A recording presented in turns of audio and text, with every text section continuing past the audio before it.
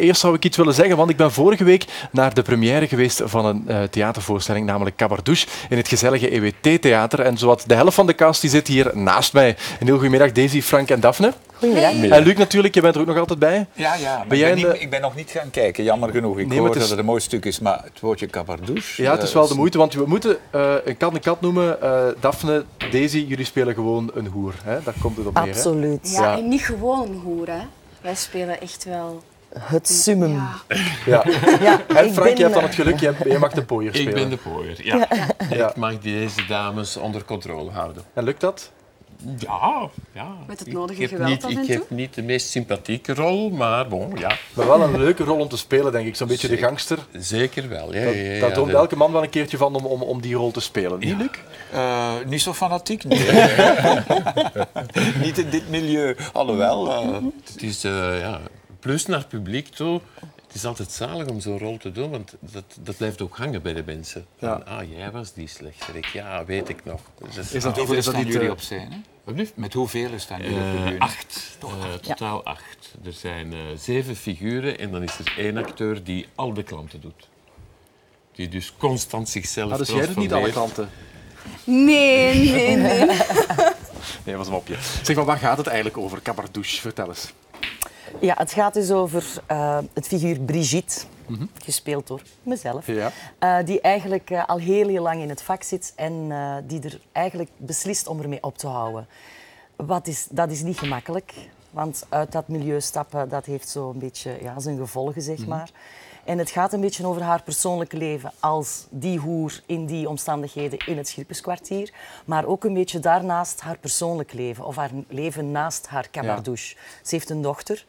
Die uh, zit in het laatste jaar humaniora, wil mm naar de universiteit. Ze is gescheiden van een man die het haar niet gemakkelijk maakt. Die ook regelmatig uh, langskomt. Ja, hè, absoluut. Die altijd geld van haar wil aftroggelen uh, en die ermee dreigt van als jij dat niet doet, dan vertel ik alles aan mijn dochter, waar ze natuurlijk heel veel schrik voor heeft, want mm -hmm. haar mhm. dochter weet niet nee. dat zij in deze stil zit. En uh, ja, dus je ziet al die figuren een beetje uh, langskomen, waardoor dat ja, toch hoofdzakelijk wel mijn leven een beetje een, een, een, vorm krijgt en dat je kennis kan maken met mij als centrale figuur, maar ja. ook met de andere oh, figuren daarnaast en, en wat dat zij dan betekenen of wat dat hun specifieke karaktertrekken zijn en zo. Ja. Dus, uh, ja. En het is vaak heel grappig. Dat is, ik denk ja, er zit wel humor in. De hè? sterkte van een stuk, het is heel grappig. En op een halve seconde wordt de, de zaal muisstil. Ja. Alle emoties. En, ja, ja. en dan wordt het terug ontroerend, schrijnend. Als Daphne, het, het verhaal van Daphne is heel ja. schrijnend. Ja, want Daphne, jij bent een Kroatisch meisje. Ja, ik word uh, gedwongen door mijn poer, die nu dus naast mij zit, uh, om in dit milieu te stappen. Ja, en je moet dan ook dat, uh, dat accent overnemen. Ja, hallo. hallo. ja, ja. Dus, dat, is, dat is heel fijn om te doen. En het is heel fijn om ja, terug met Daisy ja, want je zegt terug met Daisy, want, want jullie hebben 15 jaar geleden ook al moeder en dochter gespeeld. Ja, Klopt. en 23 mei is het exact 15 jaar geleden. Ja, absoluut. Ja. Dus dan spelen wij ook ja, Cabardouche, dat spelen ja. wij terug. Want we hebben nog een foto trouwens uh, mm. van jullie twee. Ja, dus het is echt oh. waar. Uh, kijk, dus ah, Daisy ah, ja, aan de linkerkant en Daphne aan de andere kant. In ja. Miserabele was dat, hè? Ja, en ik heb het ook ik heb het al tegen deze gezegd, maar de reden dat ik uiteindelijk nog in dit vak ben, is door Daisy. Is het zo? Ja, omdat ik... Bedankt, hè? Bedankt. Ja, omdat... Je bent echt een omdat ik keek zo op altijd naar Daisy als, als klein kindje al en zo blijven opkijken. Dus dat is echt, uh, dat is echt mijn mama. Ja.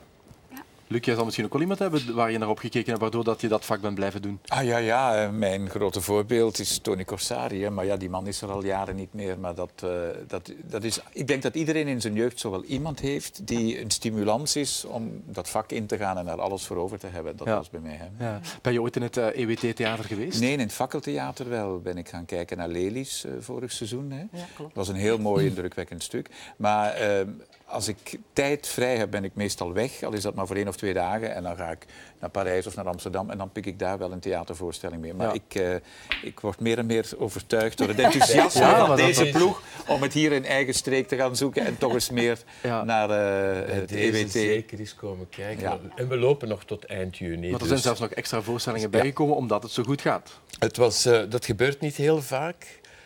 De laatste tien jaar is dat één keer gebeurd met nog een, een, een pure komedie, getikt heette dat. dat we uitverkocht waren op de dag van de première. We spreken toch over 29 voorstellingen. Zijn het dus, meestal altijd komische stukken? Die... we proberen... De, kijk, het publiek vraagt naar amusement. Er zijn bepaalde gezelschappen die zich concentreren op het meer serieuze literaire genre. Wij zorgen ervoor dat de mensen met een goed gevoel buiten gaan. Wat niet wil zeggen dat het altijd hilarisch is. Nee, want ik hoor net dat er alle emoties zitten. Dus dat, is waar. eigenlijk hoe de maatschappij werkt. En, dat is wat het publiek vraagt. En je zit ook heel dicht op de acteurs. Ik weet al, als je naar de zaal binnenkomt, dan zit jij voor het raam. Ja, eh, klopt. Uh, al in je rol eigenlijk. Uh -huh. 10 minuten, 15 minuten, dat Daisy daar dan als zijnde uh, een beetje naar, naar buiten, naar de mannen ben aan kijkt. Ben je een ervaringsdeskundige? Ben je de stil ingegaan om het te leren? Absoluut niet. het kwam wel heel overtuigend over, moet ik zeggen. Het leek, ja, het leek of je nooit iets anders gedaan had. Kijk, als het uh, niet meer moest lukken op het podium, misschien moet ik daar ja. toch maar eens kijken. Dat is een grote actrice die dat kunnen zonder dat ze... Hè, nu moet ik wel zeggen, ik las het stuk, ik kreeg de brochure om het te lezen. En jij dacht meteen aan Daisy? Ik heb onmiddellijk gedacht... Ja, dat is uh, straf. Kijk, ik ga haar de brochure laten lezen. Gewoon als personage. Het, het, gewoon Daisy helemaal als full pakket. Ja, ja. Dacht ik, ja, ze is een schitterende actrice. Absoluut. Ze heeft het figuur ervoor. Ze heeft de juiste leeftijd. Het, het, het totaalpakketje, het plaatje klopt. En, ik dacht, en zij heeft het stuk gelezen en onmiddellijk was je ook wel Ja, het is, het is en wie is... een gigantisch cadeau. Echt, dat geloof ik wel. En je, je neemt dat cadeau ook met beide handen aan. Ja, absoluut. Het is, uh, omdat het, ja, ik, ik, ik, moet eerlijk ook zeggen, ik heb niet zoveel in theater eigenlijk gespeeld. Ik heb heel veel shows gedaan. Ik heb comedy op televisie gedaan, mm -hmm. dat wel. Maar in theater eigenlijk niet. En dit stuk is zo een rollercoaster ja. van, van emoties. Ja, ja. Dat is zo, je kunt je helemaal smijten. Dus ik, ik ben Heel dankbaar. maar ik vind ook dat deze het verdient. Ik ben een heel grote fan van je. Ik vind dat jij een van de meest ondergewaardeerde artiesten uh, in België, in Vlaanderen bent. Want jij kunt inderdaad alles. Het komische, de, de sketches, serieuze rollen, televisieseries, alles. Hè. Dus en een ik, stem dat ze heeft. Dat ook zangeres. Nee, maar dat is waar. Ik vind daar een, een toptalent. Dus ik ben heel blij dat Frank uh, jou meteen voor die rol... Ja, ja, ja. Maar is, is ook niet een beetje het varken van het, van het geheel zo... Uh, uh, dat van alles kan uitsteken en... Mij lijkt je... ik bedoel... achter de schermen? Ja, achter nee, de schermen dan. Deze is de meest op de scène, de meest serieuze zelf. Je zult ook deze nooit uit haar lood zien geslagen nee, worden. Maar ik bedoel, achter de schermen dan. En zo zoals ze dat zeggen in nee, Holland. Wij lachen heel veel, dat is wel Wij waar. amuseren ons te pletten. Ja. ja. Echt waar, het is een super ons. fijne groep. Normaal ja. komt iedereen een uurtje voor de voorstelling. Wij zijn er allemaal al minstens een uur en een half. We zijn samen gaan puur voor de sfeer. Ja, de dat kans is dat. pure pret. En het lijkt me nooit van, oh, ik moet een voorstelling gaan spelen. Nee, we gaan met de vrienden weer plezier maken. Het is niet werken, het is, het is fantastisch. Dat is toch het mooiste wat er is. En als je dat dan kunt doen voor een volle zaal en je weet al voordat je begint van alles is uitverkocht en we doen nog extra's. Een goede, ja zalig natuurlijk. En waar kunnen mensen kaartjes bestellen of de data bekijken? Uh, of? Uh, alles is online te vinden op uh, www.ewt.be. Zeg, dat nog, zeg dat nog eens. www.ewt.be.